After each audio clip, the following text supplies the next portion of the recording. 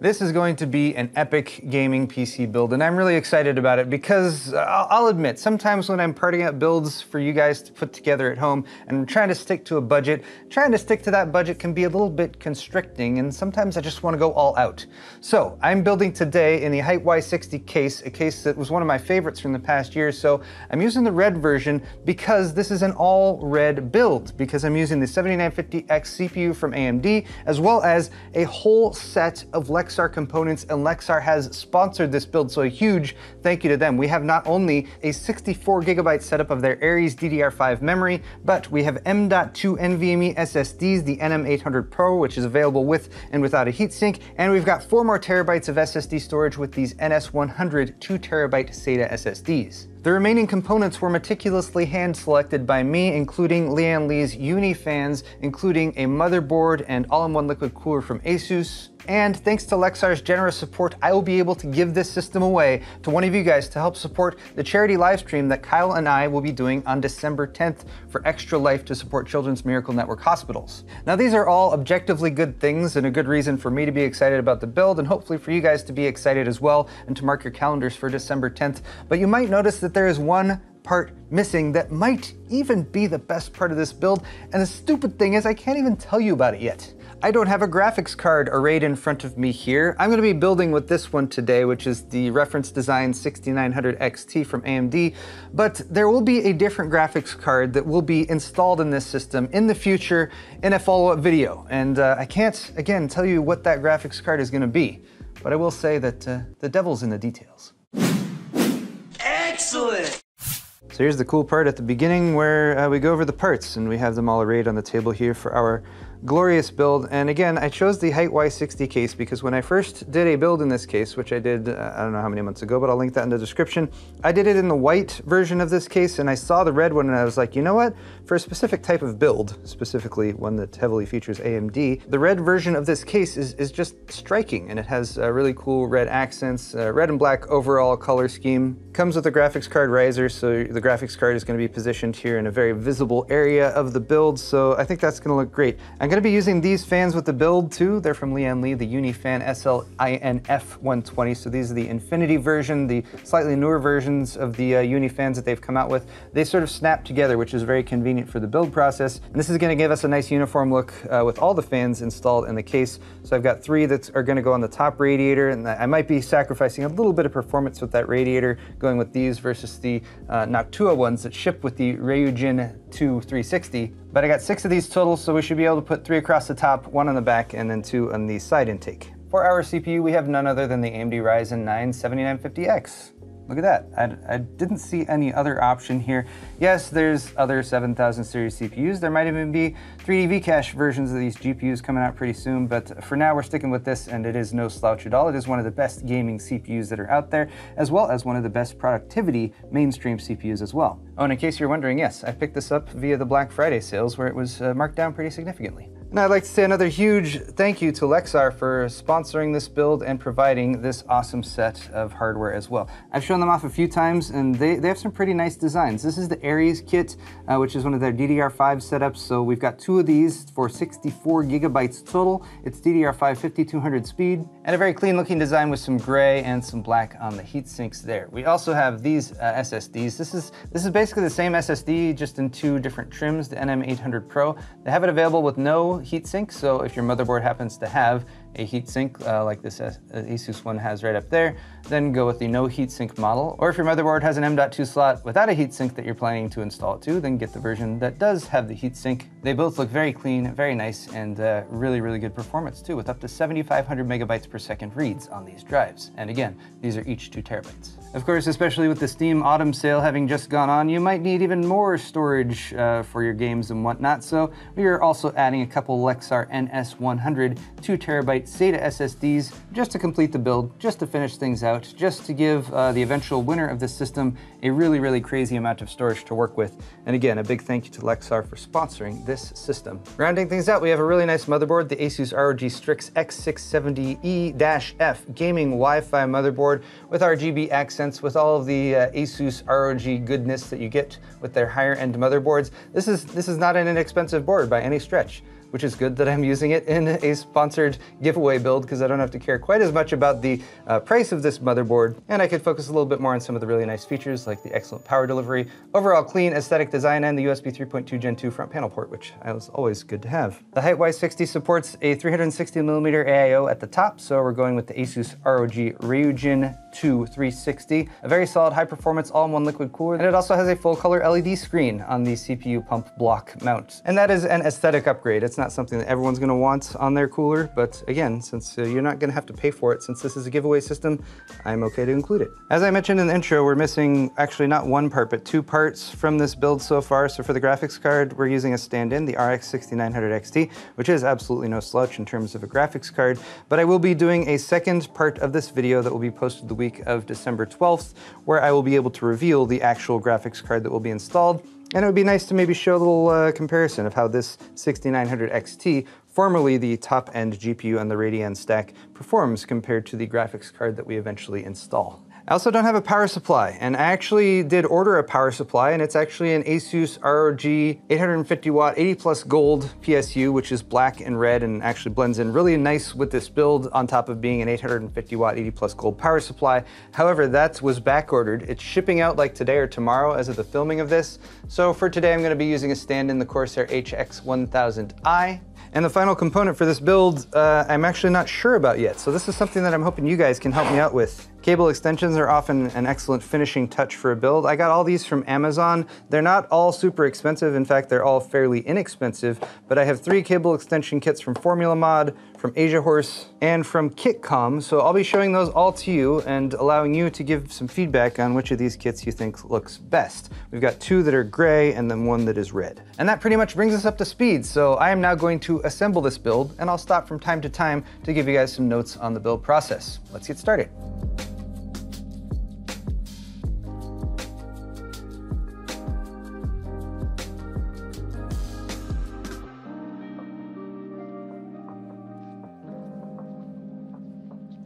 And there is our case, the Hyte Y60 in the red trim, which is it's so red. And I know that red is not for everyone. Red is a color that stands out a lot. It's very like, look at me and everything, but this is a look at me kind of build. Oh, look, there I am in the reflection. Hi. But, but the reason I picked this case for this build uh, is first because I had seen the red version and thought it looked pretty cool and I wanted to do a build in it. But waiting until like we had the Ryzen 7000 series available I think was the right call. I really like the aesthetics of this build, the sort of lines that go on the back and across the top and they continue down there on the bottom of the case. It of course has the three tempered glass side panels as well as the riser cable for the vertical GPU mount here on the side. So if you have a nice graphics card, it's gonna give you a very clean look at it. If there is a criticism or complaint about this case, uh, it's that the airflow is not fantastic. It's not bad by any stretch. It's just not as good as some of the most high airflow cases that are on the market, but it's gonna be totally fine for the hardware that we're putting in it today. And I like the fact that, uh, for instance, the riser cable that they have right here has the same accent color as the exterior of the case. So if you get the white version of the case, that's white, black version of the case, that's black. And although it is a full-size ATX case to keep the overall footprint down with the vertical mount here, you have half height expansion slots, but you can still use half height expansion cards. Uh, like in the build that I did in the white version of this case, I put a 4K capture card from Corsair in there. We also have some nice quality of life features here at the back, like a couple externally accessible 3.5 inch drive bays. Uh, the power supply is rotated 90 degrees to be vertical there again to save a little bit more on space. And it's not a super difficult case to build in either since most of the panels just sort of pop off kind of like that one. It's got an area here in the top for a 360 millimeter AIO. You can also do a 240 or 280 here in the side. And again, in the white version of this case, uh, the build that I did there was fully liquid cooled with the CPU cooled by an AIO on the top and a water cooled graphics card as well. I'll post a link to that build in the description if you guys are interested and hadn't watched it. And with the removal of a thumb screw right there, the uh, side panel lifts off kind of like that to give us a better look at the internals. And again, just, just sort of clean lines in the continuation of the aesthetic going throughout the cases. Is, I, I, think I've given enough reasons for why I chose this case. It does ship with this piece of foam in here. Let me get this out so you can see everything a little bit better. That's just to keep the riser cable positioned where it should be, even though it's not connected to a motherboard on the other side. As you can see, there are grommeted pass-throughs here for all of your cables. Uh, you can even go on this side as well, depending on what you have installed uh, here. And it comes with three fans pre-installed, one here for exhaust at the back, two down here for intakes at the bottom. Those I'm gonna leave as is because uh, those Lian Li fans would be kind of wasted down there at the bottom, not being able to see their RGB bling, but I will have uh, one here at the back, three across the top, and then two here on the side. Okay, there's your once over of the Hyte Y60 case. Let's get the system put together.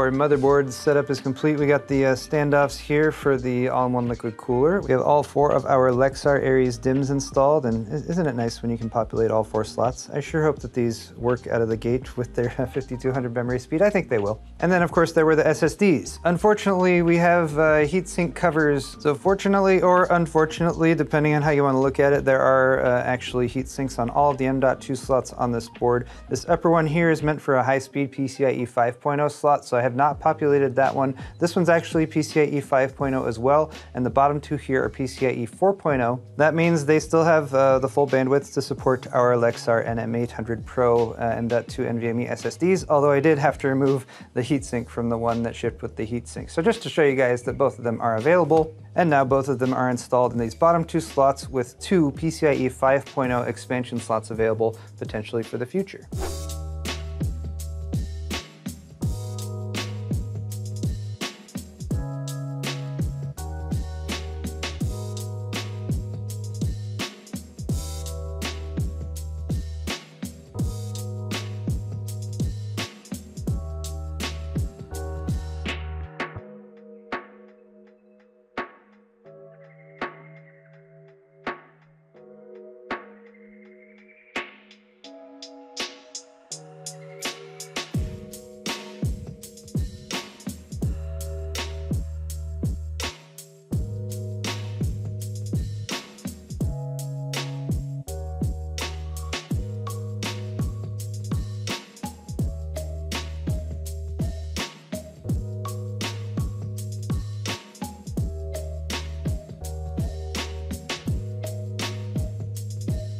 We've reached a key inflection point with this build. We're working on installing the AIO and uh, the Lian Li fans. Really, really convenient how those just snap together.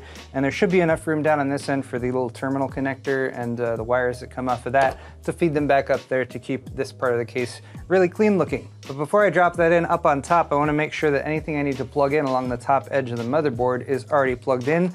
So we now have an important decision to make. As I already mentioned, I have three sleeved cable kits. One of them is red. These are from Asia Horse, which is a, a popular and inexpensive sleeved cable extension brand uh, on Amazon. We also have these gray ones here. These are from Formula Mod.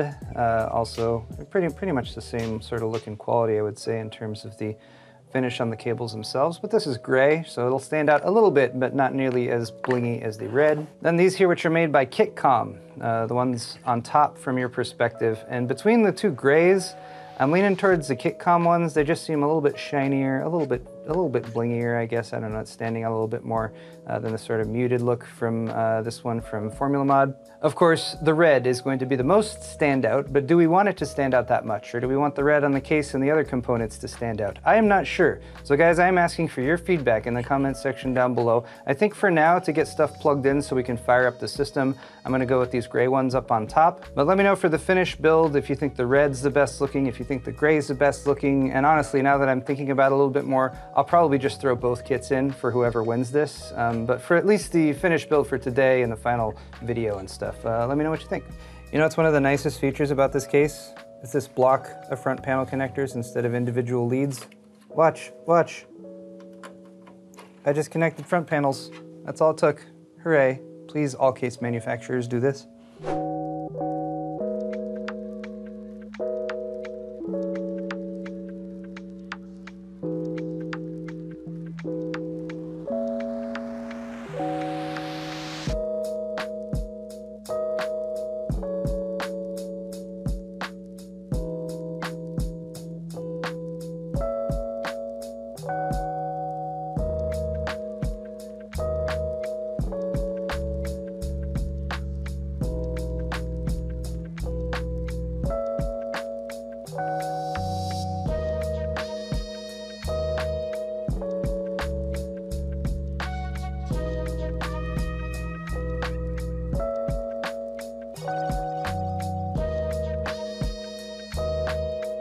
So we've kind of reached the RGB hell phase of this build, which is where we would totally be done if it wasn't for all the RGB lights and connectors and stuff that we had to connect up. But part of the reason I chose these Lian Li Uni fans, and these are the Uni Inf, Inf which is infinity, which is because they have infinity mirrors uh, in the center of the blades and, and, on either side, is because you can actually snap them together and then you just have one connector that goes on the end to plug in.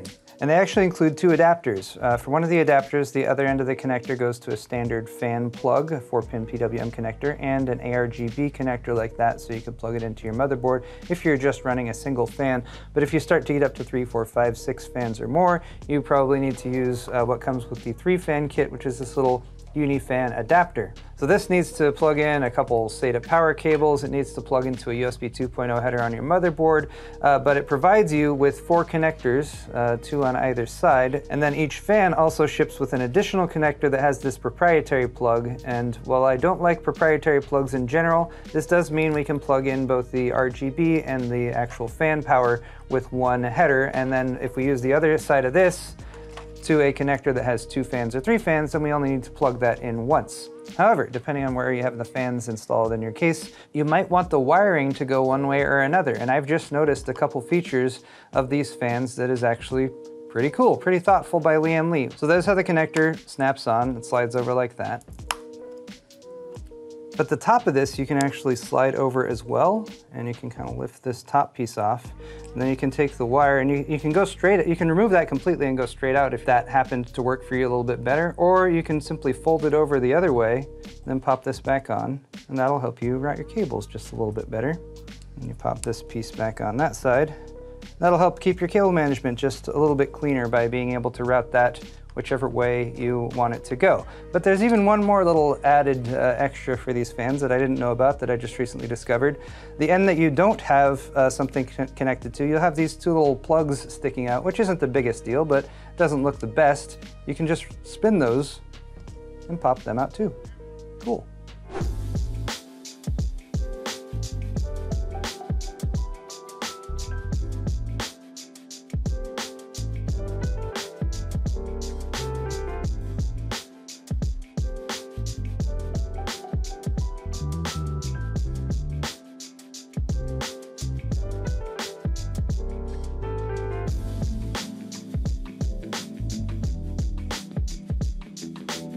So there comes a time in every build where I, where I despair and give up hope.